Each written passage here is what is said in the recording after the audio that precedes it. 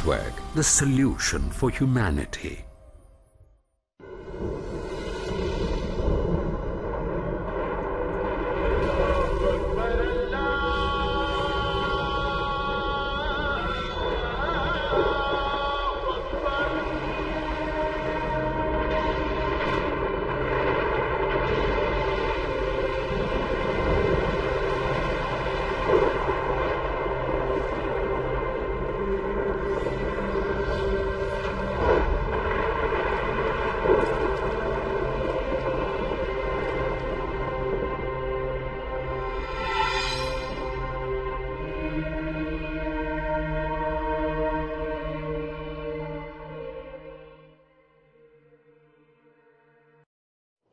السلام عليكم ورحمة الله وبركاته إن الحمد لله والصلاة والسلام على رسول الله وعلى آله وأصحابه ومن والاه أما بعد PST বাংলার দূরের কাছে সম্মানিত সুদী দর্শক কোরআনুল করিমের সর্বোত্তম কিসা ইউসুফ আলাই ইসলামের ঘটনা আর সেই ঘটনার এই সুন্দর আয়োজনে আপনাদের সকলকে স্বাগত জানাচ্ছি বিজ্ঞ আলেমদের সমন্বয়ে সামষ্টিক আলোচনা আজকে আমরা আলোচনা করব ইসুফ আলী ইসলামের ভাইয়েরা, দ্বিতীয়বার ছোট ভাই সহ তারা যখন মিশরে গেল এবং খাদ্য সংগ্রহের নিমিত্তে ঘরে যখন প্রবেশ করল, ইউসুফ আলী ইসলাম একাকি এক দরজায় পেয়ে গেলেন তার ভাইকে আর তার সাথে পরিচিত হয়ে গেলেন। তারপর কি হলো? পরিচিত হওয়ার পরে কি ঘটনাটি ঘটেছিল? তাদেরকে কীভাবে বিদায় দিয়ে এলেন? আমরা এই ঘটনাটি শুনতে চাইব। তো আমাদের সাথে যে সমস্ত অতিথিবৃন্দরা যোগ দিয়েছেন প্রথমে আমরা তাদের সাথে পরিচিত হব। আমার ডানে উপবিষ্ট আছেন বিশিষ্ট আলমদিন ইসলামী চিন্তাবিদ প্রফেসর ডক্টর খন্দকার আবদুল্লাহ জাহাঙ্গীর। সালামু আলাইকুম ও রহমতুল্লাহি ওবরাকাত এবং আমার বামে উপবিষ্ট আছেন বিশিষ্ট আলমদিন শেখ মুজাফর বিন মহসিন। আসসালামু আলাইকুম রহমতুল্লাহ বারাকাত এবং আমার সর্ববামে উপবিষ্ট আছেন তরুণ আলমদিন শেখ মুখলেস বিন আরশাদ মাদানী। আসসালামু আলাইকুম রহমতুল্লাহ বারাকাত সম্মানিত শুধু বলেছিলাম ইউসুফ আলাই ইসলাম তার ছোট ভাইকে পেলেন পাওয়ার পর কি করলেন? আর ওই ভাইয়েরা কীভাবে প্রস্থান করল? ঘটনাটি জানতে অবশ্যই আমরা উৎসুক।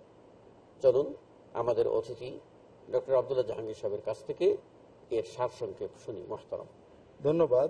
আলহামদুলিল্লাহ ওসলাত ওয়াসালাম আলা রসুলিল্লাহ ওয়ালা আলহি ওয়াসহাবি আজমাইন আম্মাবাদ যখন ইসুফ আলাইসালাম তার ভাইয়ের কাছে পরিচয় দিয়ে দিলেন, তিনি বিষয়টাকে অত্যন্ত প্রজ্ঞার সাথে বিবেচনা করলেন। এখন যদি ওরা চলে যায় এবং আমার পরিচয় জানে, হয়তো আর কোনোদিন আসবে না। আর আমি যদি ওদেরকে ক্রমান্বয়ে আস্তে আস্তে আনতে পারি, তাহলে প্রথমত আমার ভাইকে আমার কাছে রেখে দিতে হবে। কীভাবে রাখব? রাষ্ট্র আইনে। আমি তো যদি বলি, আমার ভাই রেখে দেবো, এটা রাষ্ট্র অনুমতি দেবে না। তিনি একটা কৌশল অবলম্বন করলেন। আর ভাই বলে কি করে প্রমাণ করবে? প্রমাণও করতে পারবে না।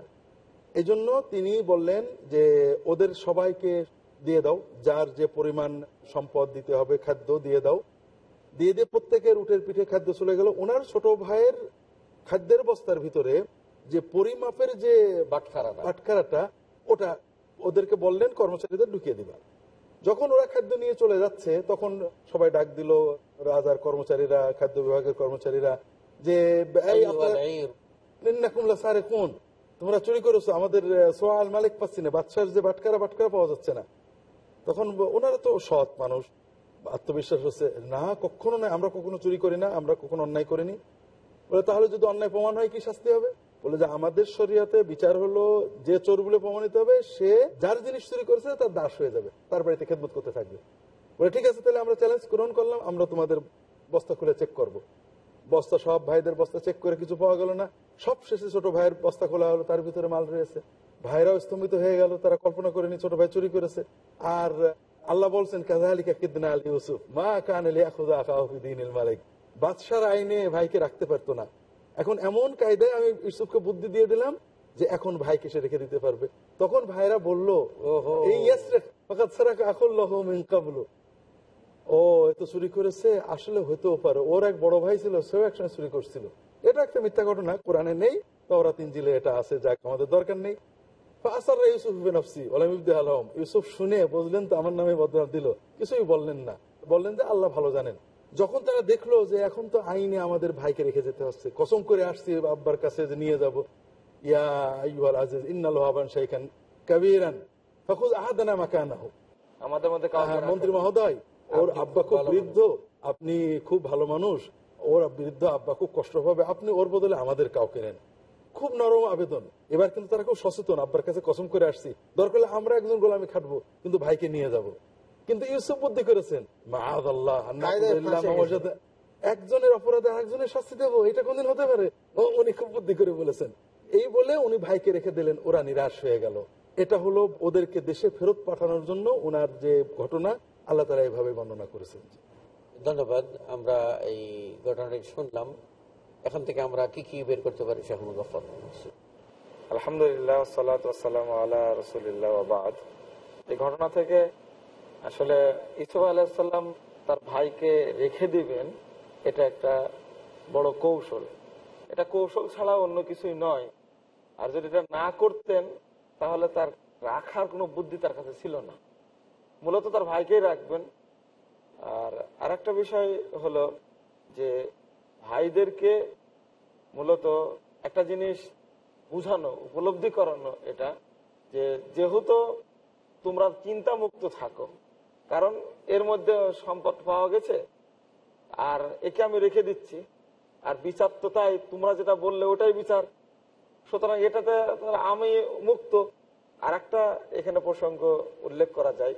এই ধরনের কোনো ঘটনা সত্য কোনো ঘটনা যদি তাদের কল্যাণের স্বার্থে যদি করা যায় তাহলে এটা করাটা অপরাধ নয়।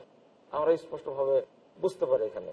আর আল্লাহ রাবুল আলমিন এটা একটা বাস্তব প্রমাণ দিয়ে দিলেন। একবার ঘটনা ঘটে গেছে ইসু আলাহিসাল্লাম এটাও জানলেন না যারা যদি নিয়ে যাবে এই ঘটনা ঘটবে বেনামিনকে রেখে দিবে? ইয়াকুব তিনি আলাইহিস জানতেন- না। আলাহিসাল্লাম জানতেন না। এটা যে তিনি গায়েব জানতেন না তারা এটা আর একটা প্রমাণ যদি ঘটনাটা অগ্রিম জানতেন তাহলে কি পাঠাতেন? পাঠানোর তো প্রশ্নই আসে না আর শপথও করে নিতেন না। পাঠানোর তো প্রশ্নই আসতো না। ইউসুফ আলাই সালাম এটা কৌশল করেছিলেন এটাকে কেউ যেন উল্টা না দেখে যে এরকম ছলচাতুরি করা যেতে পারে করা যেতে পারে। এবং এটা নিজেরই ইচ্ছাই করলেন কেন এটা? খুব সহজ বিষয় আছে সেটা হলো তিনি আগে ভাইকে বলে দিয়েছেন আমি তোমার ভাই। অর্থাৎ এখানে যার হক নষ্ট হচ্ছে সে তো খুশি সে তো সম্মত সে তো চাচ্ছে ভাইয়ের কাছে থেকে যাবে। সে আর ওদের সাথে যাবে না। কাজে এখানে উনি কোনো ছলচাতুরি করেননি কারোর হক নষ্ট করেননি বরং ভাইকে আগেই বলে দিলেন যে আমি তোমার ভাই। আর একটা বিষয় সেখানে স্পষ্ট যে তাদের সেই স্বভাবটা আছে না গেছে এটা প্রমাণ করার জন্য মূলত। যে এটা বড় হেকমত তার। যখনই ধরা পড়ল ধরা পড়ল তখন অপবাদটা চাপিয়ে আবার চাপিয়ে দিল যে এই চুরি করছে বড় ভাই তো চুরি করেছে। বড় বড়। কিন্তু এটা তো মিথ্যা কথা নিঃসন্দেহে। পবিত্র কোরআনের মধ্যে এসেছে যে চুরি করার সুযোগ তো কখন পেল? ওকে তো হত্যা করার জন্য নিয়ে গেল। ওকে চেষ্টা করেছে হত্যা করার না হলে কুয়ায় ফেলে দিয়ে গেল। ঈশ্বর তখন বড় না কখন চুরি করল? একটা বিষয় প্রমাণিত একদিকে ইসফ আলাহিসাল্লামের উপরে অভিযোগটা চাপা দিয়েছে বাঁচার জন্য। দ্বিতীয় বিষয় ফুটে উঠেছে এই জায়গায় যে বাঁচার জন্য তারা যখন চেষ্টা করেছিল এবারও তারা চেষ্টা করল বাঁচার। মিথ্যা একটা অপবাদ দিয়ে তখনও দিয়েছিল মিথ্যা অপবাদ এখনও দিল মিথ্যা অপবাদ। ইসুফ আলাহিসাল্লাম বুঝলেন মূলত এটা বুঝার জন্য যে দেখি তারা কোনো অভিযোগ হয়েছে থেকে কিনা? পরিবর্তন হয়েছে না ভালো হয়ে গেছে কিনা এটা দেখার জন্য আসলে বিষয়টা যেটা হচ্ছে যে ইসু আলাইসালামের বিনিয়ামিন হচ্ছে আপন ভাই। আর আপন ভাইকে নিজের কাছে রাখা, এটা কিন্তু অন্যায় না। কিন্তু বৈধ অবস্থায় তাদের থেকে কৌশল করে তারা যেন বুঝতে না পারে। মূল জিনিসটা হচ্ছে এটা। তার ভাইকে তার পাশে রাখবে, এটা কিন্তু তার হক আছে। কিন্তু ওরা যেটা বুঝতে না পারে যে আমার এটা ভাই। এই জন্য এই কৌশলটা সেটি অবলম্বন করেছেন। দ্বিতীয় নম্বর যে আপনার ওই যে চুরি করার ব্যাপারে চুরি অপবাদ যেটা দিয়েছে শেখ বললেন এটা আমি এইভাবে বলব যে এরা আবনাউল আম্বিয়া নবীর এরা সন্তান ছিলেন। এদের মধ্যে চুরির অভ্যাসটা ছিল না। যার কারণে ওরা খুব দৃঢ়ভাবে বলেছেন যে না আমাদের মাঝে পাওয়া যাবে না। যদি পাওয়া যায় তাহলে আমাদের যার কাছে পাওয়া যাবে তাকে রেখে দিতে হবে। কারণ ওরা সৎ একে নিশ্চিত তারা। এবং কেউ যে চুরি করবে এটা সন্দেহ ছিল না। মানে সৎ নিশ্চিত। কিন্তু যখন ধরা পড়ে গেল তখন কিন্তু আবার বলে দিল এখন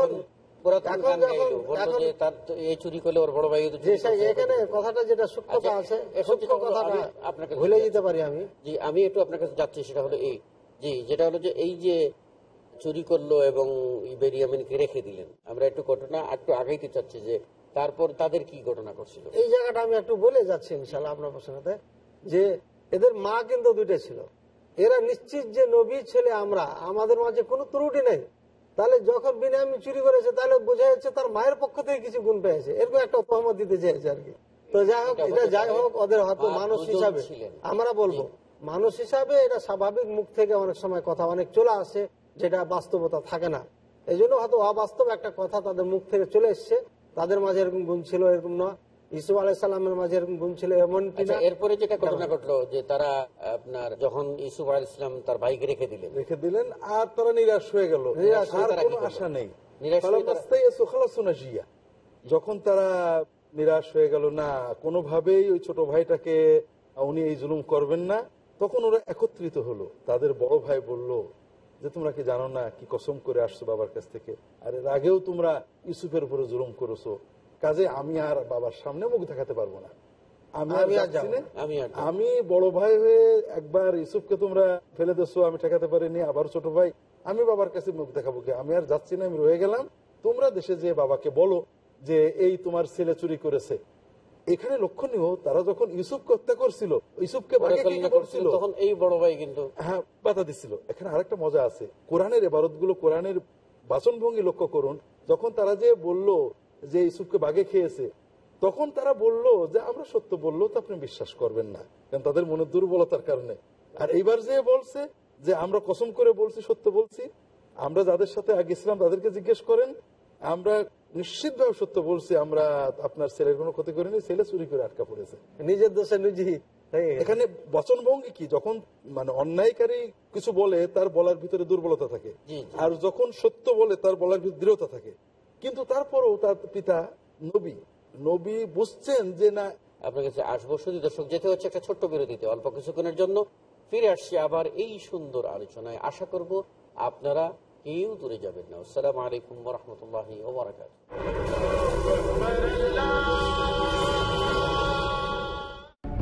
মহিলা সাহাবিদের ইমান ছিল পরিপূর্ণ। তারা আল্লাহর প্রতি খুবই নির্ভরশীল ছিলেন। ইসলামে কিন্তু মেয়েদেরকে ঈদের নামাজে যাওয়ার জন্য আদেশ দেওয়া হয়েছে। নারীদের জেহাদ হলো হজ, মেয়েদেরকে ডাস্টবিনের মতন ফেলে দেওয়া হয় পাশ্চাত্যের সমাজগুলোকে। যারা কনভার্টেড মুসলিম, এদের মধ্যে মেয়েদের রেশিও হলো সেভেন্টি পার্সেন্ট তারা খুঁজে পেয়েছে যে একজন মানুষকে ভালো পথে চলার জন্য এর চেয়ে ইন্সপায়ারেশন এবং ইনফ্লুয়েন্স আর কোনো ধর্মের মধ্যে নাই। মহিলাদের আরও অনেক পথ নির্দেশনা জানার জন্য দেখুন ইসলামে নারী। আজ সন্ধ্যা পাঁচটায় বা পুনঃ সম্প্রচার। রাত বারোটায় বাংলাদেশে পিস টিভি বাংলায়।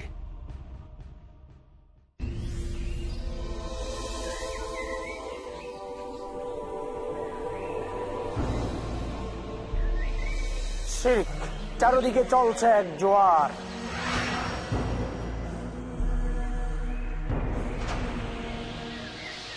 বিদাতের প্রচণ্ড ঝড়ে লন্ড ভন্ড রসুল্লাহ সাল্লাহ আলী ওয়াসাল্লামের সুন্না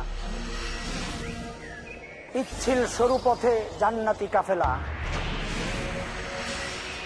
জান্নাতের সরল পথে আসন গেড়েছে শয়তান।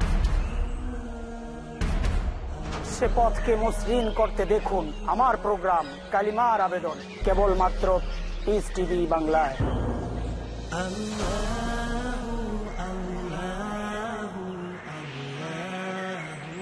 জানুন কেন মমিন নিজের জন্য নির্বাচন করেন সেই কাজ যার প্রথম উদ্দেশ্য হল তৌহিদের প্রচার।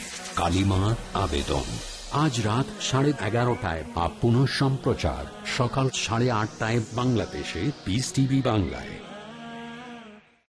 দ্বিধা, দ্বন্দ্ব, মূল্যবোধের অভাব, প্রকৃত বিশ্বাসের অভাব, অসচেতন জীবনযাপন। ধর্মকে ভুলভাবে তুলে ধরা ধর্মীয় গ্রন্থের পরিবর্তন এবং সংস্করণ যথাযথ তথ্য পেতে সকল ক্ষেত্রে আমি সংগ্রাম করছি সত্য প্রকাশ করতে। কারণ এটা যারা আপনার অধিকার আর আমার দায়িত্ব সত্যটা বলা। দেখুন সত্য উন্মোচন, পরবর্তী অনুষ্ঠান পিস টিভি বাংলায়।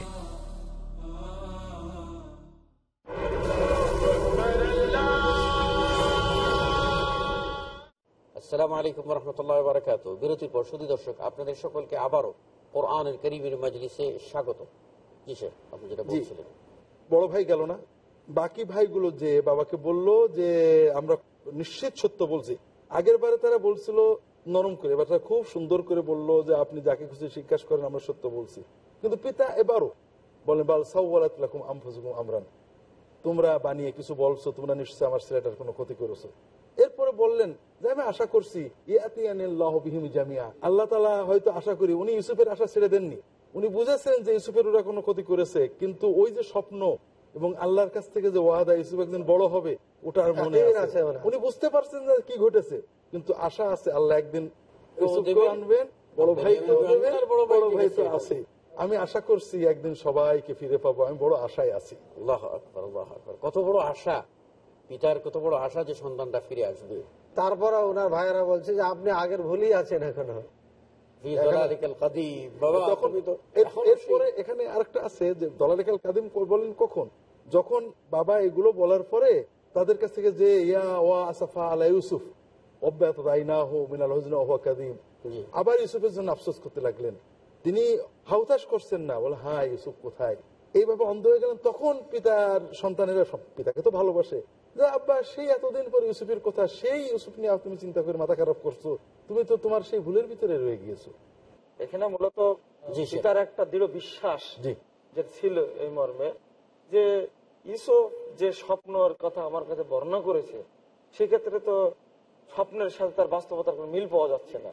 নিঃসন্দেহে ইসুফ একদিন আসবে। আর ওই স্বপ্ন বাস্তবায়িত হবে। স্বপ্ন বাস্তবায়িত হবে কিন্তু তিনি কিন্তু ক্লিয়ার কিছু বলতে পারছেন বুঝতে পারছেন না কিন্তু আশা করছেন। আশা করি। তবে তিনি ধৈর্যের বার্তা ভেঙে দেননি। না। ধৈর্য ধরে আছেন। মানে চোখ নষ্ট হয়ে গেছে বৃদ্ধ বয়সে উপনীত হয়ে গেছেন। কিন্তু এই ঘটনাকে কেন্দ্র করে এই ঘটনাকে কেন্দ্র করে এমন সব আজগুবি গল্প বানানো হয় যে ইসুফ আল ইসলামের যখন রক্তমাখা জামা এনে বাবার কাছে দিল যে বাঘে খেয়েছে ইয়াকুব তো নবী তিনি তখন বাঘকে ডেকে পাঠালেন আর বলেন বাঘ তুমি কার সামনে দাঁড়িয়ে আছো? আমি নবী। তুমি সত্যি করে কও দেখি আমার ছেলেরে তুমি খাইছো কিনা? তখন বাঘের জবান ফুটে গেলে বাঘ বলল যে আমি আপনার ছেলেকে খাইনি। মানে উনি যদি এরকমই পারতেন কোন বাঘকে বলতেন ইউসুফ কান্দে করে নিয়ে চলে আসো তো ইউসুফকে নিয়ে চলে আসতো। এইরকম মানে উদ্ভট কথাবার্তা যদি বিষয়টা এত কল্প কাহিনী হতো আসলে মূল বিষয়টা হলো এই যে ইসরায়েলি কাহিনী দ্বারা সমস্যা ভর্তি। আর একটা বড় সমস্যা হলো যে তাফসিরের নামে যেগুলো হয়ে থাকে মানুষকে মুখরোচক কথা শোনানোর জন্য। এটা হয়ে থাকে। দেখা যাচ্ছে ইয়াকুব আল ইসলাম হুয়া। ইউসুফের জন্য কাঁদতে কাঁদতে তার চোখের জুতি চলে গেল। যদি তিনি বা আগে জানতে পারবেন যে তার ছেলেটি রাজ পরিবারে লালিত পালিত হচ্ছে বা আগে খায়নি তাহলে কাঁদবেনই বা কেন? এবং তিনি এখানে দুটো জিনিস সমন্বয় করেছেন। কোরআন কিন্তু মানুষকে মানুষভাবে চিত্রিত করেছে। তিনি বেদনার্ত কাঁদছেন আফসোস করছেন কিন্তু আল্লাহ তাআলার বিরুদ্ধে কিছু বলছেন না আশাও ছেড়ে দেননি। আশায় বুক বেঁধে রেখেছেন আবার কষ্ট হচ্ছে বলে এই জন্য এটাই হলো মানবীয় প্রকৃতি এটাই নবী রসুলদের শিক্ষা এটা আমাদের দায়িত্ব। যে কোনো বিপদে হবে। এবং পাশাপাশি ধৈর্যের চেষ্টা করা তবে মানবীয় দুর্বলতায় কান্না আসবে বেদনা আসবে কষ্ট আসবে মানুষ ফেরেস্তা হয়ে যাবে। এটা তো স্বাভাবিক। এই জন্যই তো রসুলামের কোলে যখন নাতি দেওয়া হলো মৃত্যু সজ্জায় নাতিকে কোলে নিয়ে তার চোখ দিয়ে পানি পড়ছে তখন সাহাবি বলছেন জি আপনিও কাঁদছেন ইয়া রাসূলুল্লাহ। রাসূলুল্লাহ। ছেলেকে কোলে নিয়ে জি জি চোখ পানি বের নাতিকে। কোলে নিয়ে একটা জিনিস বোঝা যায় মানুষ যেটা মানুষের উপরে ভরসা করে কাজ করে তিনি গায়েব জানতা এবং তিনি মঙ্গলা মঙ্গলের খবর রাখেন এই কথা বলে যখন মানুষের কাছে চাই তাকে তো একটু বিবেক নিয়ে আসার দরকার যে এই মানুষটি কার কাছে চাই জি এই মানুষটি তো আল্লাহর কাছে চায়। যেমন ইয়াকুব তিনি নিজেই বলছেন আল্লাহ মুস্তান আল্লাহর পক্ষ থেকে যদি মজার কথা হলো সাহায্যের কথা বলেন। এত বড় ঘটনার পরেও ইয়াকুব ইসলাম একবারও বিরক্তির ভাব তার প্রকাশ পায়নি। এবং তিনি এটা বলেন যে আল্লাহ তুমি কি করলে? তুমি না ওয়াদা করছিলে ইউসুফকে বড় করবে। কি হলো তোমার কি হলো তোমার? আলা কোথায়? কিন্তু আমরা সামান্য বিপদের পরে মধ্যে হাউতাস করে এমন অবান্তর কথা বলে ফেলি যে আমাদের ইমান বিরুদ্ধে এবং অনেকে আমল করেন ভালো আমল মনে করেন কিছু অজিফা করেন নামাজ পড়েন। বিপদে পড়েছেন। কই হুজুর অজিফা করলে নাকি এই আমল করলে নাকি কোনো বিপদ হয় না আমার বিপদ হলো কেন? তাহলে সব ভুয়া। শেখ এখানে আমাদের আর একটা শিক্ষার বিষয় আছে যে ফ্যামিলিগত দিকটা পারিবারিক জীবনে সুখী হওয়ার জন্য। এটা ইয়াকুব আলাইসাল্লাম একটা বড় দৃষ্টান্ত। ছেলেরা কিন্তু উনার দৃষ্টিতে অন্যায় করছেন। একজনকে হত্যা করে দিলেন একজনকে রেখে এসে দিলেন কোথায় কি করলেন আল্লাহ ভালো জানে। তারপরেও কিন্তু ছেলেদের সাথে খারাপ ব্যবহার করছেন না অনেক না, এখানে ইয়াকুব সালাম এটা তিনি তো আর গায়েব জানতেন না এবং তারাও তাদের কাছে এসে বলে নাই যে আমরা ভাইকে হত্যা করেছি। সুতরাং ইয়াকুব ইসলাম তার সন্তানকে হত্যাকারী হিসেবে চিহ্নিত করেন নাই। উনি একটাই বুঝেছেন। কিছু তোমরা করেছ। আসলে আমাদের এটা তোমাদের পক্ষ থেকে এটা সাজানো সব। মানে এই বলে তিনি কিন্তু ওই যে আমাদের শেখ বলতেছিলেন যে হত্যা করে ফেলল। তারপরেও তিনি কিছু কিন্তু এটা মানে হত্যা হত্যা আসে নাই। হত্যার প্রমাণ হয়েছে। কারণ ওটা বাগে খাইছে। উনি নিশ্চিত দেশে বেশি আছে। ছেলেরা কোন একটা ষড়যন্ত্র করেছে। ষড়যন্ত্র করেছে। ছেলেটাকে- সাওয়ালাত লাকুম আনফুসুকুম। এই ওদের দাবি প্রমাণ ওদের দাবি বাগে খাইছে। ওরা যে হত্যা করেছে এটা তো প্রমাণিত হয় না। ওরা যে মিথ্যা বলছে উনি যদিও হত্যা না করে কিন্তু তাকে তো গায়েব করে দিয়েছে। হ্যাঁ। এটা তো অন্যায় করেছে বিরাট বড় অন্যায় করেছে। সেটা গায়েব হয়েছে। জি। কিন্তু হওয়ার কারণে এই ইয়াকুব আলী ইসলাম তো তার দলিলের ভিত্তিতে বিচার করবেন। জি জি জি। দলিল ছাড়া বিচার করতে পারবেন দলিল প্রমাণ আমাদের দলিল- আমাদের দলিল প্রমাণ করছে যে প্রবঞ্চনা এখানে আছে কিন্তু তারা যে সন্তানকে হত্যা করেছে এটা কিন্তু প্রমাণ হয় নাই। প্রমাণ হলে অবশ্যই তিনি শরীয়ত তখনকার শরীরের বিচার দিতেন। আমাদের যেটা আমাদের পারিবারিক জীবনে যেটা মানে হত্যা হয়ে গেছে আর ইয়াকুব তাদের বিরুদ্ধে অ্যাকশন নেননি। এটা আদৌ ঠিক না। কারণ প্রমাণিত হয়নি হত্যা। প্রমাণিত হয়েছে যদি প্রমাণিত হয় হত্যা তাহলে তো কেসাস হবে বা যেটা বিচার ছিল করবে। কিন্তু যেটা আপনার কথা হচ্ছে আমি না, যেটা বলতে আপনার কথা হচ্ছে যে ইয়াকুব আলী ইসলাম এই বুঝতে পারছেন কিছু একটা হচ্ছে। কিন্তু ক্লিয়ার না। সেজন্য তিনি কোনো কোনো বিচারও করতে পারছেন না। আবার ছেলেদের প্রতি বিরাট বাজন হইয়া তাদেরকে বাড়িতেও একজন নবী হিসাবে তার তিনি যে স্বপ্নের তাবিরটা নিজে করেছেন এটা তার বাস্তবায়ন হবে? বাল সাউওয়ালাত লাকুম আনফুসুকুম এই মধ্যে সবরুন জামিল আল্লাহুল মুস্তাআন এই কথাগুলোর মধ্যে তো অনেক তাৎপর্য রয়েছে। তিনি বলছেন যে আল্লাহ রাব্বুল আলমের কাছে আমি আশ্রয় চাচ্ছি আর আমি ধৈর্য ধারণ করছি। যদি ইসুফ এবং বেনিয়ামের যে ঘটনাটা ঘটছে তার ছেলেদের কাছে যখন এটা এসে বলা হলো ছেলেরা যখন বলল কথাটা তিনি তখনও বললেন আশা প্রকাশ করছেন যে আমরা দুইজনকে অচিরে ফিরে পাবো। ফিরে পাবো। আর মজার কথা শেষ মানে শেষবারে গিয়ে দুইজনকে হারিয়ে দেওয়ার পরেও কিন্তু আশা ছাড়েননি। এটা নবীদের স্বভাব নয়। আমি যে বিষয়টা বুঝাইতে চাচ্ছিলাম যে সন্তান থেকে যদি ভুল হয়ে যায় বা আপনার কোন কর্মচারীর থেকে যদি ভুল হয়ে যায় তখন আপনি কি করেন? রাগ করেন? ভুলের বিচার হবে। কিন্তু নবীর যেটা বৈশিষ্ট্য সে কিন্তু রাগ করেন বা তাদেরকে বকাও দেন নাই আমি এটা বুঝাতে চাচ্ছি যে একটা ফ্যামিলি সুন্দর করার জন্য ধৈর্য ধারণ করতে হবে এবং খুব ধৈর্যের সাথে কাজ নিতে হবে। ধৈর্য ধারণ এর অর্থ হলো এই নয় যে কোনো অন্যায়কে সাপোর্ট করবে। আর একটা কাজ করতে পারতেন যে ভাইটাকে পেয়েছে এবার তোমরা যাও। টাকা পয়সা কিছু দিব না। এটা প্রথম বলতে পারতেন হ্যাঁ। কারণ তিনি এখনও পরিচয় দিচ্ছেন না কারণ তার উদ্দেশ্য এটাই কথা যে তুমি ভাইকে পেয়েছি আগে তো শর্ত দিয়েছিলেন ভাইয়ের কথা। প্রতিশোধের কথা বলছি। যেহেতু ভাইকে পেয়ে গেছেন প্রতিশোধ তো তিনি নিবেন না। কোন নবীর প্রতিশোধের না আদাত ছিল না। বরং অভ্যাসটা ছিল উপকার করা, উপকার করা উপর এহসান করা। এরপরে আর একটা বিষয় এখানে আসলো।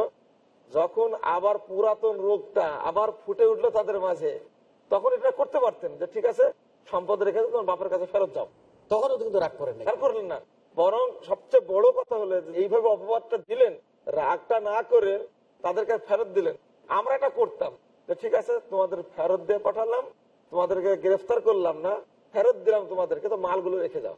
এটাও তো করলেন না। কিছু করলেন না, তাদের মাল সহ তাদেরকে ফেরত দিলেন। আসলে এখানে শেখ আরেকটা জিনিস হলো বড় ভাই যে থেকে গেল এটাতে কিন্তু ইয়াকুব আল ইসলামের আস্থা আরও বাড়লো।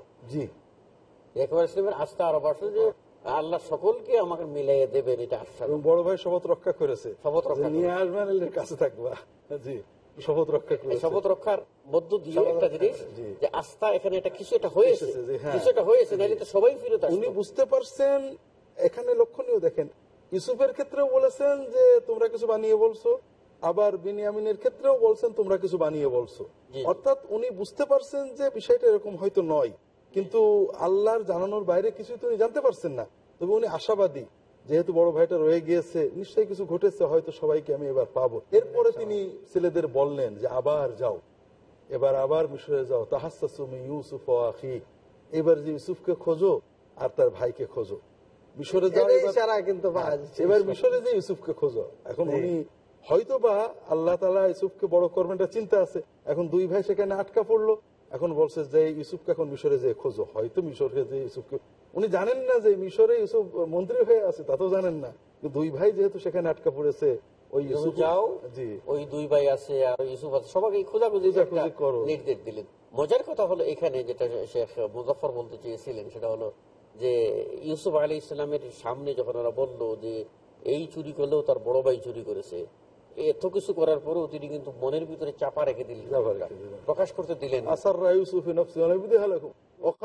প্রকাশ করতে না এমনকি ওদের কাছে তো বলতে পারতেন যা এত কথা বলছিস তোরা সব চাউল রেখে যা গুদাম রেখে যা। তাও করলেন না মালগুলি ফেরত দিলেন। তিনি তার যে উদারতা তার ব্যক্তিত্বের বই প্রকাশ ঘটালেন। শুধু দর্শক আমাদের যেতে হচ্ছে কিন্তু আমরা বুঝতে পারছি। মন চায় যেন পুরো ঘটনা শুনি, কিন্তু সময় বলছে আজ নয়, আবার। ইনশা আল্লাহ কখনো তৌফিক সামিল হাল হলে আপনাদের সামনে বাকি ঘটনা নিয়ে উপস্থিত হব। ইনশা আল্লাহ ততক্ষণে বলব যে ইয়াকুব আলসালাম যে ধৈর্যের পরীক্ষা দিয়েছিলেন এবং আল্লাহর উপরে তার যে ভরসা ছিল, তিনি কখনো নিরাশ হন নাই। আমরা যেন নিরাশার ব্যতীতে আক্রান্ত না হই। ভরসা যেন আমাদের ষোলো আনা থাকে এবং আমরা উপায় উপকরণ অবলম্বন করি, তবেই আমরা গন্তব্যস্থলে বসতে পারব অভিষ্ট লক্ষ্য অর্জন করতে পারব। আল্লাহ রবুল্লাহ আলীর আমাদের সকলকে তৌফিক করুন, আমিন। আসসালামু আলাইকুম রহমতুল্লাহ ওবরাকাত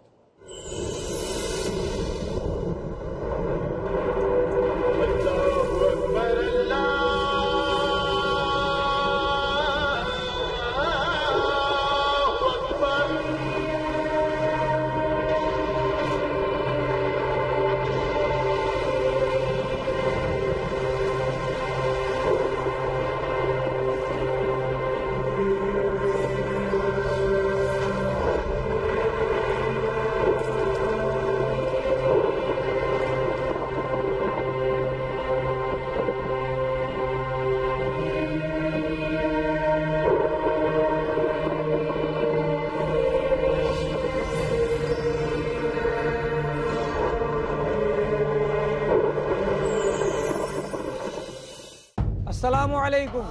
আমি মোহাম্মদ বদরুদ্দোজা নদী আপনারা দেখছেন পিস টিভি বাংলা।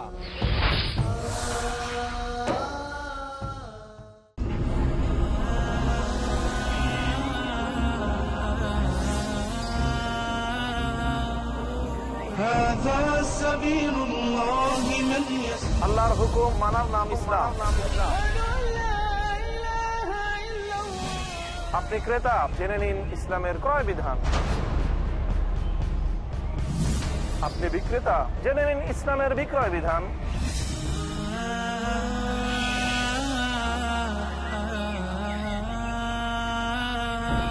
আপনি ব্যবসায়ী, জেনে নিন ইসলামের ব্যবসার বিধান। মানতে হলে জানতে হবে। জানার জন্য দেখুন আমাদের অনুষ্ঠান শুধুমাত্র পৃথিবী বাংলায়।